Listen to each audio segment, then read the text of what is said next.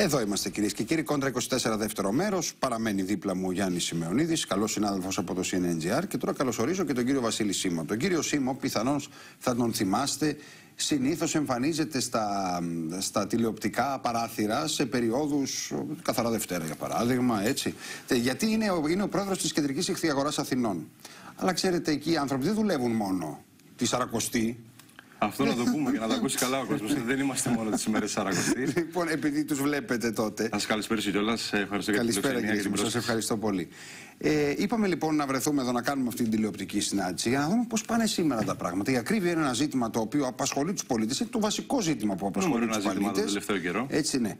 Ε, η ακρίβεια όμως αυτή επηρεάζει και εσάς.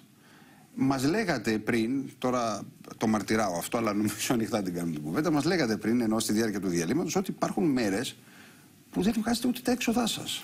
Ναι, γενικά η εικόνα δεν είναι καθόλου καλή. Θεωρώ ότι έχουμε φτάσει σε ένα σημείο όπου έχει κολλήσει ένα μεγάλο γρανάζι στην αγορά. Και δεν θεωρώ δηλαδή ότι είναι μόνο στην βαρμπάκια αγορά ή στις λαϊκές αγορές ή στις κεντρικές και δημοτικές αγορές, αλλά θεωρώ ότι είναι γενικά ε, στην ελληνική επικράτεια αυτό το σημάδι, το οποίο δεν είναι καθόλου καλό. Ε, έχουν φτάσει τα πράγματα έτσι, διότι πιστεύω ότι ας πούμε, μπορεί να βλέπουμε ας πούμε, κάποια αποκλιμάκωση ας πούμε, του πληθωρισμού. Βλέπουμε διάφορες μετρήσεις ότι δείχνουν ότι έχουμε ξεπεράσει, έχουμε φτάσει δηλαδή και το 1% στον πληθωρισμό των τροφίμων από το 2,5-2,6 που υπήρχε τους προηγούμενους μήνες. Αυτό σημαίνει ότι ακριβένουν πιο αργά τα τρόφιμα, δεν είναι ότι δεν ακριβένουν. Το θέμα ποιο είναι, είναι ότι αυτή τη στιγμή και τσάμπα να τα βάλουμε, γιατί ε, τι γίνεται, τις εποχές που είναι δυνατή αγορά, δηλαδή ας πούμε η κυβέρνηση έκανε κάποιες μετρήσεις με το Πάσχα και έλεγε ότι η αγορά τζιράρει κανονικά, είμαστε στους τζίρους με πέρσι. Όμως δεν μετριούνται έτσι τα πράγματα. Θα έπρεπε να δει τα τεμάχια που πουλάει η κάθε επιχείρηση, είτε αυτά είναι παπούτσια, είτε αυτά είναι ψάρια, είτε αυτά είναι στη μαναβική πράγματα. Δηλαδή θα έπρεπε να δούμε τα τεμάχια όταν πολύ λιγότερα σε σχέση με τις προηγούμενες χρονιές. Άρα αυτό κάτι δείχνει. Σημαίνει ότι έχουν ακριβήνει τα πράγματα, άρα ο καταναλωτής έχει μετριάσει το καλάθι του, άρα όλα αυτά οδηγούν στο, στη στάση του εμπορίου αυτή τη στιγμή. Διότι τώρα, ό,τι και να γίνει, επειδή θέλετε και τις μεγάλες ζέσει, τις μεγάλες θερμοκρασίες. Ο κόσμος δεν έρχεται πούμε, στην αγορά και βλέπουμε και γενικά και στα σούπερ μάρκετ και γενικά σε όλη την επικράτεια και στην Αθήνα αλλά και στην περιφέρεια. Βλέπουμε διάφορα πράγματα τα οποία οδηγούν σε αυτή τη στάση εμπορίου. Οι αγορές πλέον δουλεύουν με πέντε κωδικούς. Δηλαδή, εμείς από εκεί που θα μπορούσαμε αυτή τη στιγμή να έχουμε μια ποικιλία πολύ μεγάλη διότι τώρα έχει ξεκινήσει το γρηγρή που ψαρεύει διάφορα πράγματα στο ηχθή εμπόριο.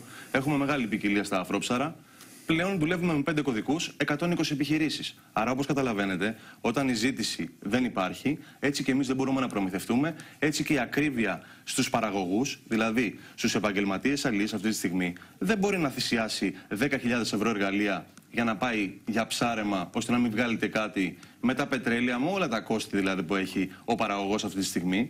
Είτε αυτός είναι ο κτηνοτρόφος, είτε αυτός είναι ο αγρότης. Τα πράγματα για να Η τα καθημερινότητα δηλαδή ποια είναι, Δηλαδή πηγαίνετε, ανοίγετε το μαγαζί, τι τζίρο κάνετε και τι έξοδα έχετε; Αυτή τη στιγμή είμαστε σε μια κατάσταση τραγική και δεν είναι ότι το βλέπω μόνο στην αγορά, το βλέπω γενικά γιατί μιλάω με πάρα πολλούς ανθρώπους, μιλάω με τα επιμελητήρια, έχουμε ανοιχτούς διάβλους επικοινωνίας και ειδικά το επαγγελματικό επιμελητήριο Αθηνών μας βοηθάει και πάρα, πάρα πολύ. Είναι το μόνο που έχει σταθεί δίπλα μας όταν εμείς βάλαμε πλάτη. Όταν ε, το 23 ο πληθωρισμός έγκυγε η κεντρική ηχθή αγορά έβαλε μεγάλη πλάτη στις τιμές. Και έτσι ξεκινούσαμε την εσχροκέρδεια στα διάφορε διάφορες αλυσίδες και ξεκινούσαμε και τα καπέλα των μεσαζόντων.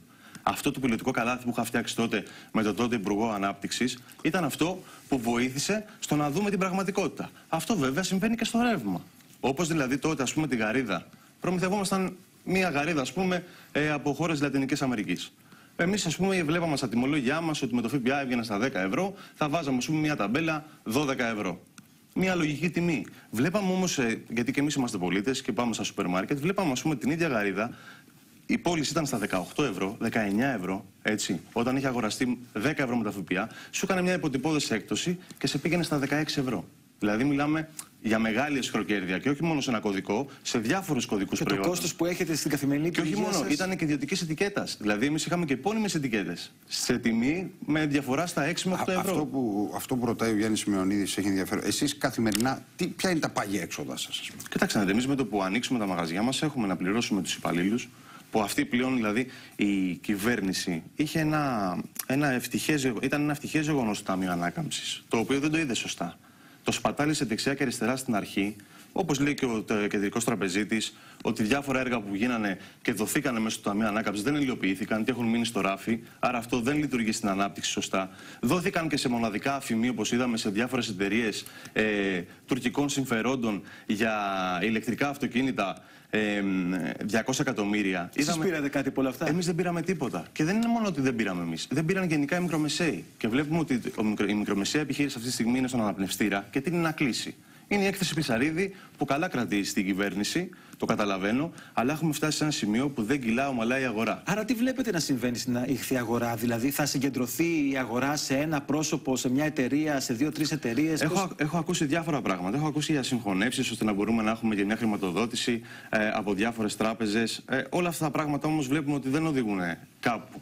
Γιατί εμείς ήμασταν αυτοί που βάλαμε πλάτη. Συγχωνεύσει, δηλαδή χρέη. Ο ανταγωνισμός είναι αυτός όμως που βρίσκει τις τιμές. Και το έχουμε δει διάφορες φορές και το είδαμε και εγώ το έχω δει διάφορες φορές όταν το κάναμε και στην αγορά. Γιατί θα μπορούσαμε και εμείς στις εποχές που ο πληθωρισμός έγκαιγε να πούμε είμαστε ένα τεράστιο καρτέλ, μπορούμε να βάλουμε τις τιμές και εμείς ακριβά και να κάνουμε συσσαγωγικά ένα μεροκάματο. Όχι όμως, είμαστε 120 επιχειρήσεις, υπάρχει τεράστιος ανταγωνισμός.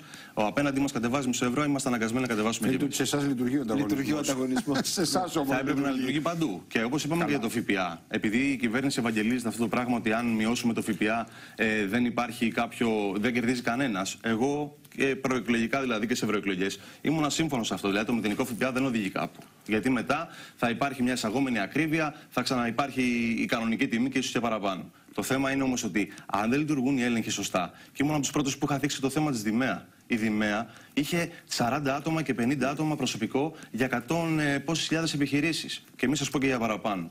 Ξαφνικά βλέπουμε ότι τώρα που πήγε ο κύριος Θεοδωρικάκος στο Υπουργείο Ανάπτυξης, άρχισε να στελεχώνει καλύτερα το, τη Δημαία, την Επιτροπή Ανταγωνισμού, και βλέπουμε και όλα και στα ρεύματα και όλα αυτά τα πράγματα και στην ενέργεια που είναι ακριβώς το ίδιο πράγμα. Ναι, βεβαίως εσείς όλα αυτά και όταν λέω εσείς δεν εννοώ εσείς προσωπικά μόνο, εννοώ άνθρωποι της αγοράς με τους οποίους συνομιλούσαμε. Αυτά τα επεσήμεναν πολύ καιρό νωρίτερα. Διότι ακρίβεια δεν έχουμε στην Ελλάδα τον τελευταίο μήνα ούτε τους τελευταίους έξι μήνες. Έχουμε πια πάνω από δύο χρόνια. Βεβαίως. Ε, Απλώς δεν έχουμε πια 41% να δημοκρατία, έχουμε 28% ναι. και έχει κάνει αυτό τη διαφορά. η υποστελέχωση της Δημαία. Ε, η υποστελέχωση και ο τρόπος λειτουργίας της Επιτροπής Ανταγωνισμού. Και είδαμε και ανθρώπους να φεύγουν. Έτσι. Ο πρόεδρος παρατήθηκε και είδαμε και διάφορα πράγματα να μένουν στο ράφιο όπου είχαν ερευνηθεί. Η υποστελέχωση, για να, δεν θα πάω σε άλλο ζήτημα, αλλά το αναφέρω, της ε, αρχής ε, ε, του, του, του πρώην ΣΕΠΕ της αρχής επιθεώρησης εργασίας. Τα πάντα, ναι, τα πάντα ήταν υποστελεχωμένα. Και αυτό το καταγγέλατε και εσείς ε, και οι άνθρωποι της αγοράς ευρύτερα. Κύριε Ραβαντινέ, μην το πάμε μακριά. Ποιες επιχειρήσεις είχαν τα μεγάλα πρόστιμα, Είδατε, οι διάφορες μεγάλες αλυσίδες. Το είδαμε πάρα πολλές φορές. Και να σας πω κάτι. Αυτό το πράγμα που κάνει η κυβέρνηση και όπως είναι και οι φορολογικές δηλώσεις αυτή τη στιγμή, που είναι ένα εκατομμύριο ε, που δεν έχουν ενταχθεί αυτή τη στιγμή, η πλατφόρμα άνοιξε πολύ αργά, δεν υπήρχε ο χρόνος.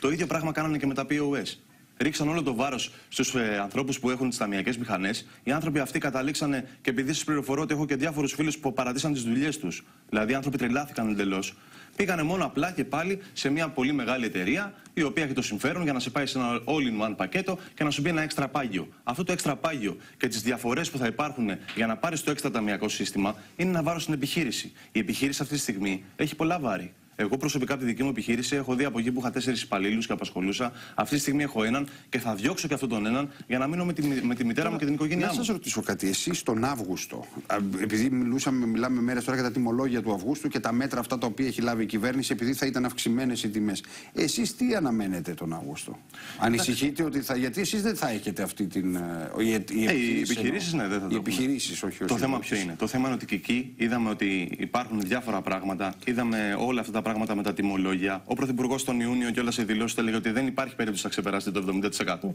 Υπάρχουν σε δηλώσεις, θα το δείτε σε πρωινές εκπομπές και ραδιοφωνικές εκπομπές. Και ξαφνικά πήγαμε στο 200%.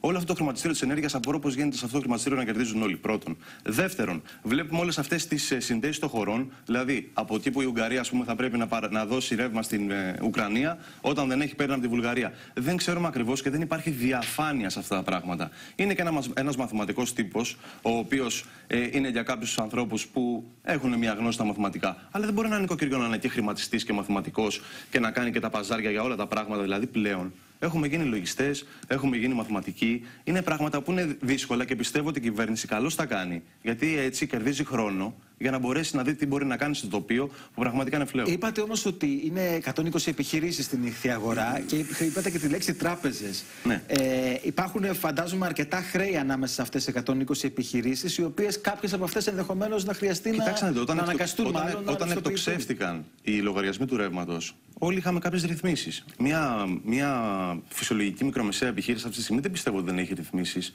Είδαμε κιόλας τα επιτόκια που ανέβηκαν τότε σε δυσαιώρητα ποσά και κατευθείαν επειδή βγήκαμε έξω και φωνάξαμε όλοι μαζί, ε, την επόμενη μέρα ο κ. Χατζηδάκης το, το ακύρωσε το μέτρο αυτό τότε.